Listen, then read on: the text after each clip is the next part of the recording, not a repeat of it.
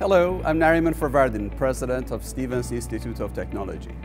I'm greeting you today from our magnificent new University Center complex, which is an unmistakable symbol of the tremendous progress Stevens has made in the last decade. The UCC will welcome its first residents in the fall, providing modern amenities and unmatched views for nearly 1,000 students. We held a wonderful dedication ceremony for this building and celebrated the successful conclusion of the Power of Stevens campaign with a ribbon cutting, receptions, and impact showcase which featured faculty and student innovations and a fireworks display to top off the evening. While the UCC opening was a highlight of the recently completed spring semester, it's just one of many accomplishments which fill me with pride and excitement. Our students were delighted to be back on campus. They were almost as excited as I was to have them back, and they made the most of it.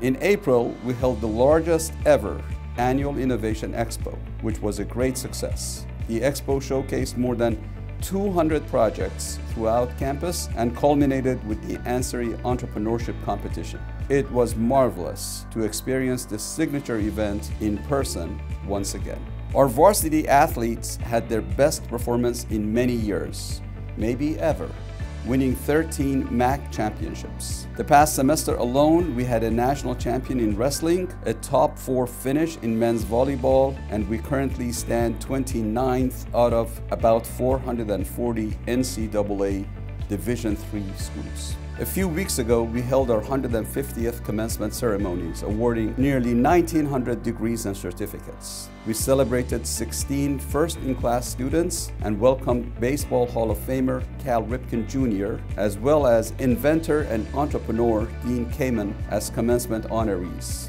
Congratulations to the class of 2022 on all you have accomplished and best of luck as you begin the next phase of your journey.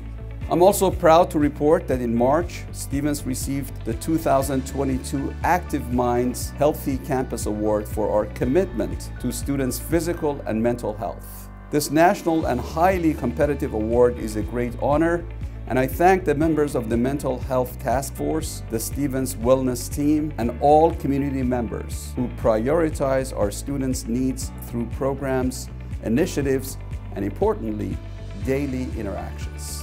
Our faculty research enterprise is also firing on all cylinders. With several weeks left in the fiscal year, research awards are the highest in Stevens history at more than $54 million.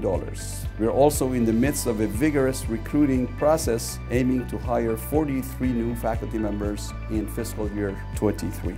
And I'm so delighted to report that our alumni gathered in person on campus for Alumni Weekend for the first time since 2019. More than 1,000 alumni, friends, and family members attended, our highest attendance yet at an Alumni Weekend.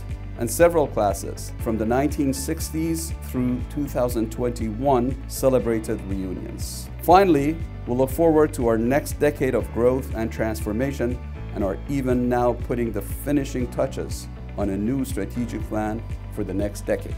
Ambitious and bold, it will create a roadmap to achieve even greater heights as a national and global leader in technology-oriented education and research. I am excited to share the details of this plan with all of you in the coming months. As always, none of these achievements would be possible without the commitment and collaboration of all of you, our dedicated alumni, talented students, remarkable faculty and staff, and our loyal friends. I thank you all and wish you a happy and healthy summer.